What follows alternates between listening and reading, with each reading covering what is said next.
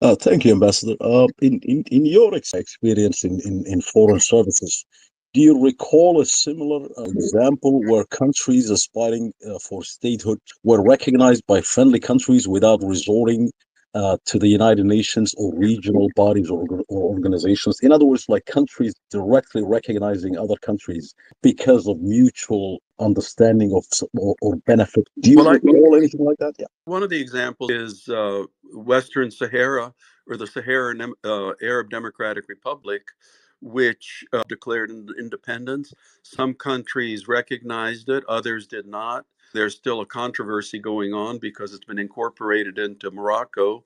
Algeria certainly has not accepted that. There are other prime examples. I mean, and then you look across at the, the ocean to the to the greatest example, which is the one China policy that everybody looks at, but Taiwan acts like an independent country. And we'll see how the Taiwanese elections come out to see where the history of that will go. You know, will go forward. The example I cited before was, which is the country of Eritrea, which went by the book because at the time, you know, Ethiopia supported the concept of Eritrean independence because it was obvious that, you know, 99% of the people in Eritrea supported that. And it would be so much easier if Somalia, you know, took the, the same course that Ethiopia did with Eritrea and just accepted reality that Somaliland is a is a separate independent country and is not going back into into sharing a household with Somalia. Ambassador, just to uh, reiterate a point, um, Somaliland is not succeeding from Somalia.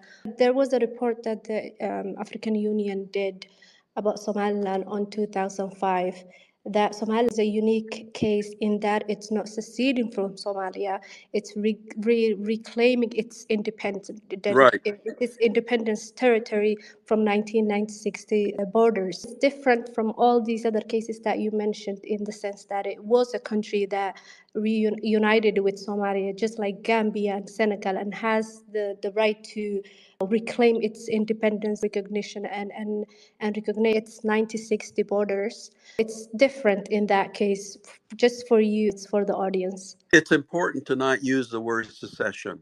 It was more a dis- dissolution of, of the joining. Uh, Ambassador, just following up on that question of you know countries sort of finding mutually beneficial like you know interest and actually recognizing one another that way. In the current memorandum of understanding, one of the things, and this was you know, mentioned by both President Bihi and and you know Redwan Hussein, you know, the National Security Counselor of uh, Prime Minister Abiy.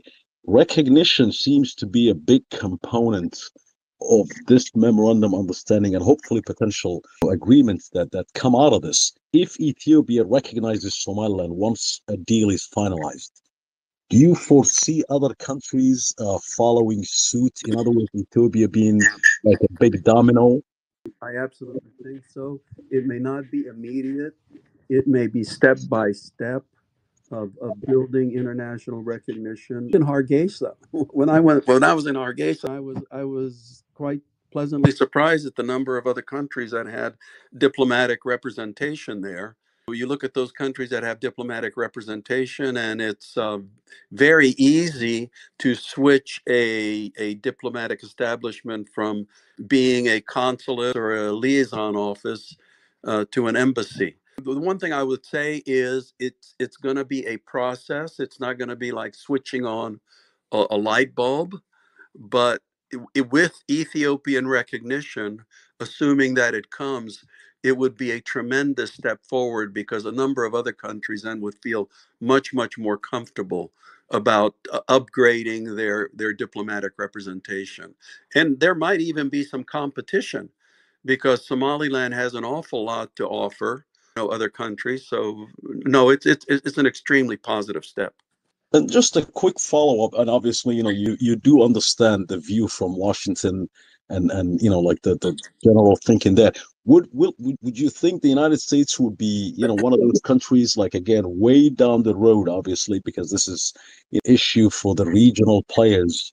Uh, but again in all fairness the United States is also seeking for a potential you know military base in Berbera Now, should Somaliland actually kind of, you know, hold the Washington's feet to the fire and say, well, you know, you know, just like Ethiopia, I need a little bit more out of this, and you know, potentially kind of put that in any to place you are better.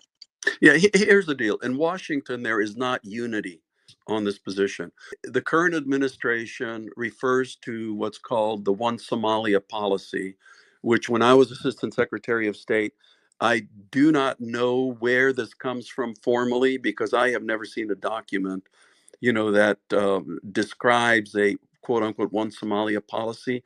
And different uh, executive agencies in Washington also have different views. But at the end of the day, it's the US president who is responsible for US foreign policy. As you know, we have an election coming up in November. So, depending on how that election comes out, uh, there might be a uh, you know a totally different view of the Horn of Africa coming in with the new administration. So you know, I can't speak for the current administration. I certainly cannot speak for a future administration. But people have to understand that in Washington, there there are many points of view, including with Congress.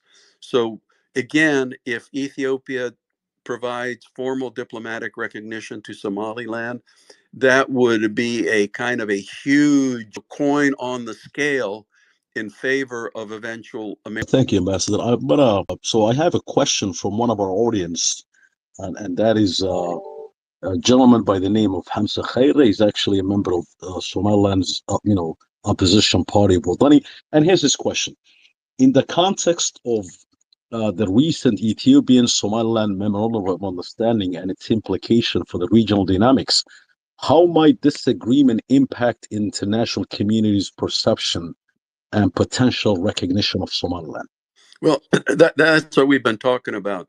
Already, in my view, it, it upgrades the positive image of Somaliland because people are saying, wow, you know, Ethiopia is making a deal with Somaliland.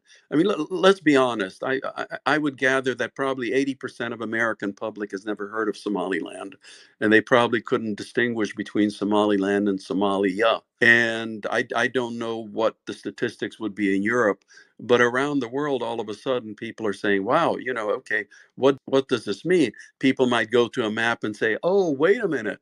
Here's this this fairly small country, but it has an 800 kilometer shore on the Red Sea.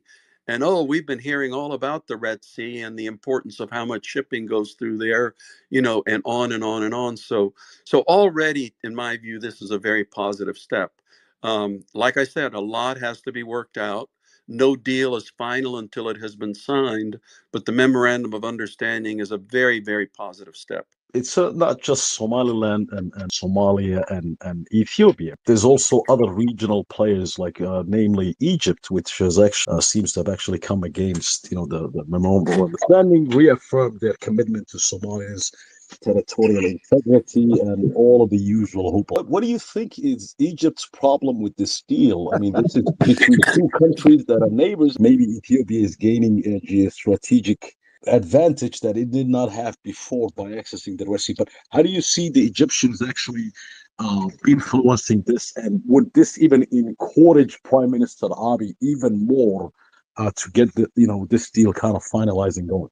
We have to distinguish different issues because Egypt's problem is not Somaliland. Egypt's problem is Ethiopia and the disagreement between the two countries over the Grand Ethiopian Renaissance Dam.